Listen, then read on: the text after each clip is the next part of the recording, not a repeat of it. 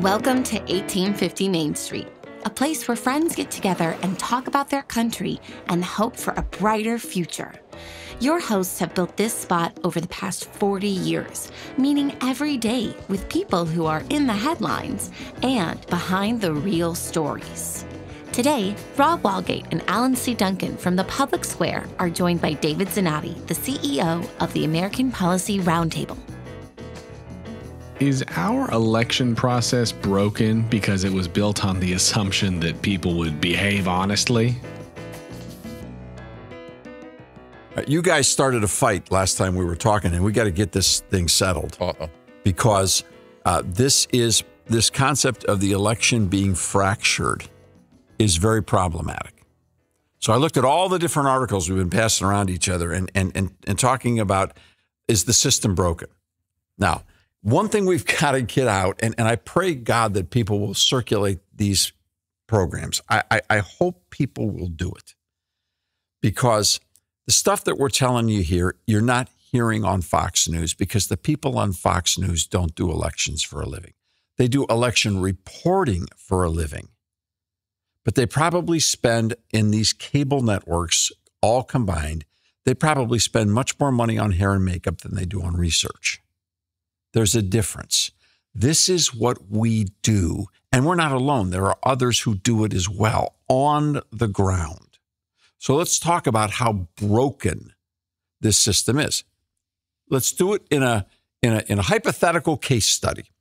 Let's just say that we had $10 million. Now, compared to the billions that'll be spent on this election, 10 million isn't even a rounding error. I mean, the IRS probably wouldn't even investigate $10 million or the FEC. It's that this is pennies in the process. Depending what position you were advocating. for. Let's let's just say we had $10 million and we said, okay, there's five critical swing states. So let's invest $2 million in each of those states. All right. So this, and now it's even like a smaller number. And here's the deal we know that a swing state right now can be won or lost by 5,000 votes, certainly to 50,000. So the zone is between 5 and 50,000. we saw it on a national election eight In- years ago. in 16 and we saw it in 20 we've seen it over and over again. We saw it in 76 with jimmy carter. So we say okay we got the right five states. We got some money. Now what's our what's our goal and our objective? Our goal and objective is to find a maximum of 50000 votes. Probably get pretty excited if we get to 30 may even make the difference if we get to five. So what do we got to do? We got to find votes you got to find votes. Well, if you just start banging on doors or walking up and down streets, that's you know two million bucks isn't going to last. And you're going to need two years. And guess what? We've only got a few weeks left. Are you giving people ideas on this program? So let's just say what we did was say, okay, let's go ahead and think about what's out there that we could utilize.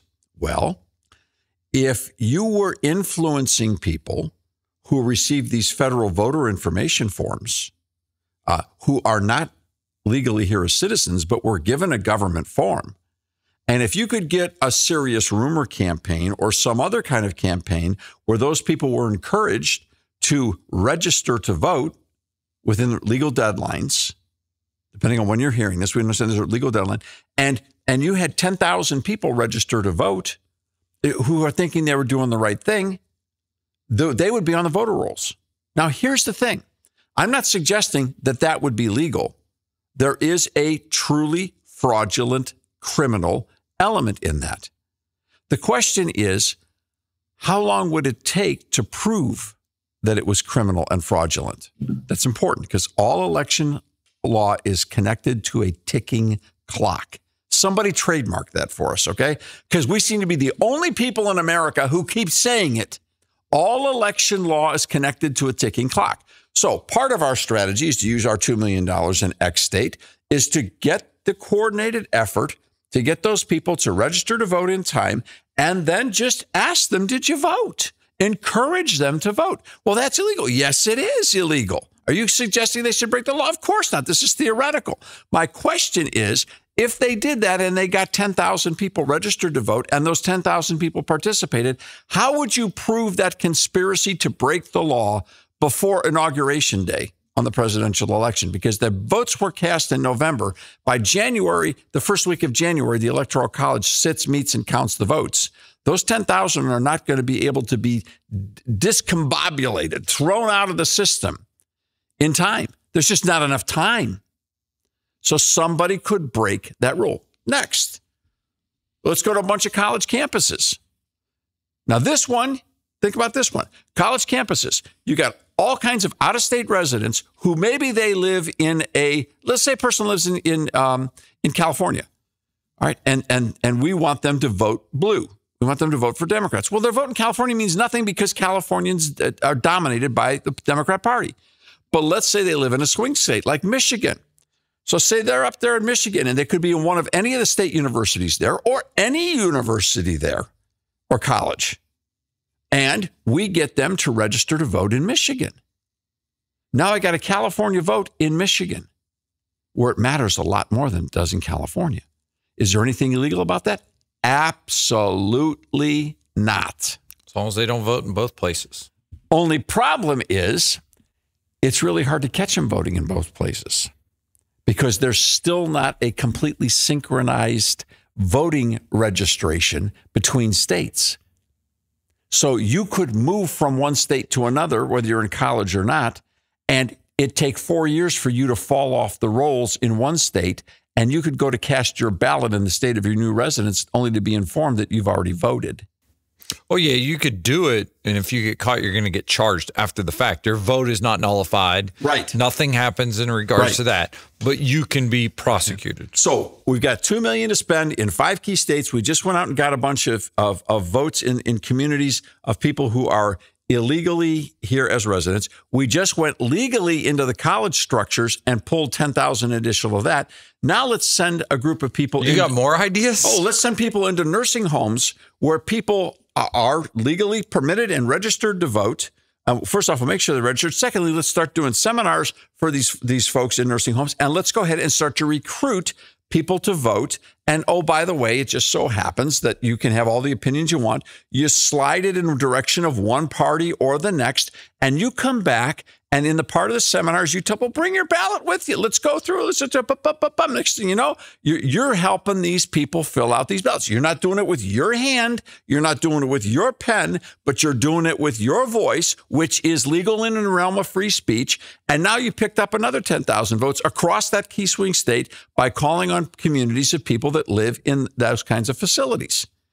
Now I just picked up 30,000 votes. Well, and I will say this um, having some family members who are kind of in and out of facilities like that, very aged, 90 plus, they're in a unique spot in life where they actually are quite receptive to a nudge Sure. politically. I've seen I've seen some people have to have some wild political beliefs that you're like, ah, that really isn't founded upon much true information, but they really, really b- believe it strongly. So that that's a very vulnerable population for that type of thing. I think. Now, uh, th- this may be causing people to be screaming at their computer or at their phone right yeah, now. I was going to ask for some good news at some point. Right, there's, there, there, there, uh, look, we do elections. We've been doing them for 45 years. We know where the holes in the laws are.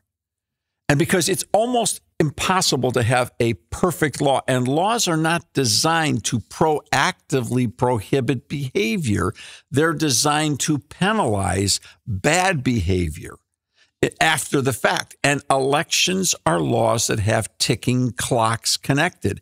So to prosecute something that's illegal, you've got to beat the clock in court before the election is certified, or else you're coming back into a courtroom and asking them to retroactively cancel the results of an election, which almost never happens. But of the three scenarios, only one of them was illegal. The nursing home situation, the elderly uh, uh, uh involvement is, is legal. The college involvement is legal. Now, add that to all the other social media manipulation that is designed to direct people's attentions. Oh, and you might also do something that's been done in the past too, people don't realize. You could go buy the information from the cable companies and find out where people in key swing precincts are watching television or watching streaming video content, find out what they're watching, what commercials they're watching as well. And you could literally direct commercial advertising into those homes with that data and information. You could spend some of your bucks doing that.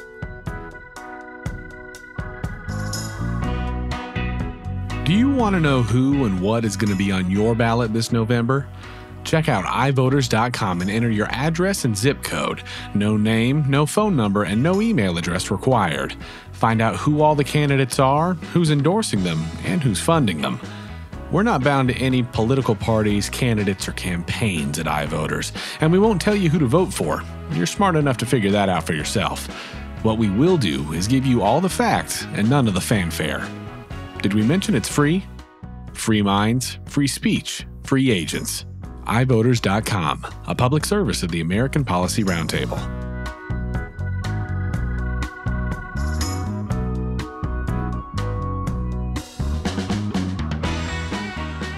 I understand and hear you with the paper ballots and the way things should be done. But with the technology that we have today, couldn't we do it in a way to where we have the voter rolls, we have everything on, and then once someone votes, in essence, their green light shows up and this person voted. Um, Of course. it, I mean, there, there seems like simpler ways to monitor and audit the process than what we do and take advantage of technology and doing it that way. And here's the, the fundamental problem with all of this. And this is, for, is in addition to the fact that it's being done right now, some of this stuff was being done as long ago as 1960. All right. Eh, The stuff It's a that- business. That's it's a business. Today it is a business. I'm not opposed to the, the legal entities of super PACs, nor would I advocate that we should try to attempt to stop people from spending money and free speech in elections. But what we have done is so fractured the process of voting that we have created spaces for people to come in as corporate entities. Sure, they're not technically a for profit uh, corporation. Sure, they're a PAC, which is a different entity. They're not tax deductible. We get all that. But they have legal status to exist to do this. They've turned it into an industry, and people can make a lot of money doing this. So, in addition to the $2 million I got for operating expenses, how about if I plug a nice bonus in that if you can show me the numbers when it comes time for the vote? And that is a very, uh, now I get to build a new wing on my house and buy a brand new car and put my kids through school. We've turned this into a business. And how did it happen? It happened when we began to tear at the threads and fracture the process of voting, which used to be two things. One, exceptionally simple show up on the day, we'll give you the pencil and paper, fill it out. We got the count from here. Thank you. Just sign your name, which brings us to the second point. It's all been built on trust. And that's why the system is broken because people aren't honest the way they used to be honest about voting. We've pulled apart the pieces, and in the seams and in the cracks have become political operatives who can't be condemned for being criminal because three of the four ideas that I suggested are technically legal, and the fourth one would be almost impossible to prosecute. So, are they technically doing anything wrong? They didn't get caught, they didn't go to jail. They're just good at what they do. And if you want to win an election, you better do the same thing. So when people say, I feel like the system's broken, really, are they wrong? I would say it's not broken in totality, smashed and on the ground. But I'd say our country right now, when it comes to elections, it, it's it's like someone trying to walk on a broken leg. And the people that are doing this have a passion for seeing things done a certain way. It's for some in some cases there's it's a religion. It's it's a religious passion. Yes. They are so convinced on both sides. They can be so convinced. Now, that brings up the really difficult question. And that is which party does it more? Depends which state you live in. Which party does it better? Oh, I think that one's easy. Which party does it more frequently? But what's interesting is when's the last time anyone's heard, heard this conversation anywhere on any podcast, on any national radio program, on any cable news setup? When has someone come in and broken down the methodologies of how you can bend, break, get inside the fissures, get inside the cracks, and push the system in your direction and get away with it? So for somebody listening to this show who who is is feeling almost despair or hopeless at this thing, well, my vote isn't going to matter. What what do we say to that person? Okay, uh, close. That's a really close analysis. But if you'll forgive me, it's incredibly myopic. Each vote matters. This makes every legal vote matter all the more. Because if you pull the legal votes out, you pull the informed votes out, you pull the people that are doing the right thing the right way, regardless of where they stand on the issues. I'm not talking about a monolithic perfection here. If the people who are going to do the right thing the right way stop, then all we have left is the people who are doing it the wrong way. It's like the old, it's it's the whole story of It's a Wonderful Life. If you're not there, you bring Pottersville into absolute reality right now. Yeah. So somebody feeling discouraged and like, well, I'm not going to, uh, maybe I just won't vote. Then It's a thousand times more important Yeah. that you vote. That's the opposite of what we're trying to convey. Exactly. Yes. It is a thousand times more impo- important that w- the people who are going to do the right thing the right way do it. And and and that's why when we do ivoters.com, we do not target parties. We do not target issues. We do not target uh, regions. We we encourage everyone to vote legally and ethically the right way. Period. So much so to the fact that I've been in meetings where we've been having meetings with people and the meetings ended because they wanted to do that very thing. And sometimes a lot of money walked out of the room. Yeah. I wasn't going to say it, but yeah. Yeah. And as a nonprofit, you can't do iVoters without money. It's just you, nobody does it. No, no one's willing to give you that all that time. So how do you monetize it? yeah, how do you monetize it? All right, we, should, we should end with that story. Remember, remember that story? We're sitting uh, on Media Row uh, at the Republican National Convention in 16. Uh, and and we were there to cover it for the public square. We're a nonpartisan. All right, we also had people at the Democrat convention in 16. Yeah, We were right next to NPR Boston. Okay? Right, we, right, we, were, we right. became good buddies with NPR Boston that day. Those were wonderful people. We Yeah, enjoyed that immensely. So we take off for lunch one day, and we're sitting in this in this cool diner at, in, in Cleveland, Ohio, and and one of the big wig type guys is sitting there, and uh, he's at you know he's he's by himself, and so big consultant guys just chat chatting back and forth. And what do you guys do? So Rob starts telling him about iVoters.com. And Alan and I are sitting like watching this unfold, right? It's like this is great. So the guy is is they're going about and he's asking questions and Rob's explaining. And the guy's like, "Wow, that's pretty impressive. You- How long you been doing this? You guys like had to be first thought. Yeah, we were one of the first. NPR said that your site's one of the best five. And yeah, yeah, yeah. Okay, he got all the data. He had it. He figured it out, and he said, "Well, how do you monetize it?" We don't. We give it away. At which point, I I don't know whether it was a choke moment or a spit take, but the guy almost fell off the stool. He couldn't believe it sitting at the counter that someone actually had something to do in the American political process that wasn't monetized. That the idea wasn't to how do we make money doing this? Not just to cover costs. I understand that. We give it away. Now, th- then the next question is you give it away. Well, how many people that get the information actually then turn around and support it? Almost none. Why is that? Because Americans are convinced that voting information, no matter who it comes from or how they get it, should be absolutely free. We want to make sure they have the truth, so we'll spend our money to make sure of that. You could give them, uh, you could, and, and every time somebody goes on iVoters, the, the, it is amazing. It's like getting not just the cliff notes, okay, but it's it, you're getting the questions that's coming on the test. Yeah. All right. So all your homework's done. You are complete. You have it. You can walk into the polling place and instead of spending like 10, 15, have you, I've seen some of these people in there, fi- 15, 18, 20, 25 minutes. It's got to drive the poll workers crazy. You walk in, boom, boom, boom, boom, boom, boom, boom, boom, boom, turn, bam, bam, bam, bam, turn, turn, and you're out. And they're going like, what? It's like having the math textbook and you can flip to the back and you see the answer That's key. it. Just put the answers in because you've already made up your Of mind. only You've the made odd your questions. decisions. You can even take the darn thing in with you on your cell phone. All right, and and it's that simple. Because it's not a test. Right. Yeah, yeah, you're It's- not it's- being graded. It's just it's just that simple. And so and and people won't pay for that? No, because Americans are conditioned in their DNA that voting information. Well, how do you pay for it? We go around to people of goodwill who believe that voting the right way is virtuous and good for the country and we ask them and beg them to either give us their services for free, their time, their energy, their technologies, or to help us financially so we can pay the bills.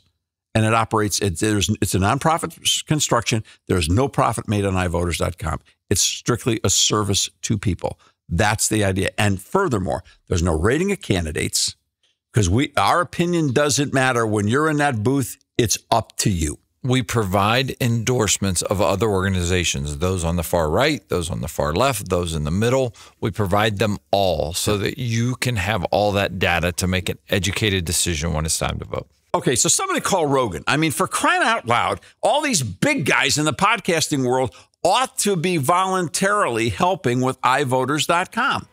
Maybe he'll interview Rob. Who knows? The conversations are just getting started. To get connected, check out 1850mainstreet.com.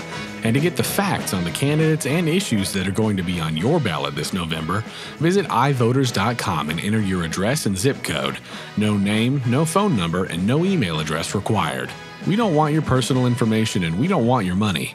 We want you to be well informed. So please share this podcast and iVoters.com with a friend today so they too can vote with confidence and encourage others to do the same. Thanks for stopping by today. We'll see you next time here at 1850 Main Street.